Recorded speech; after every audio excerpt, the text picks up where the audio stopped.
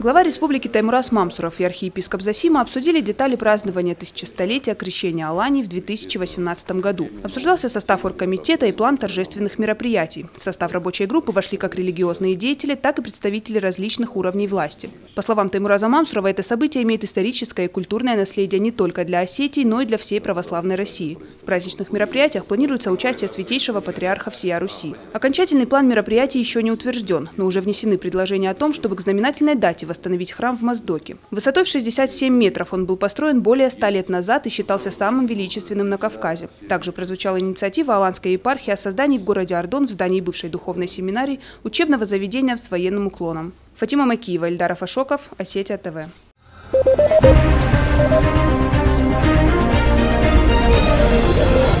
Thank you.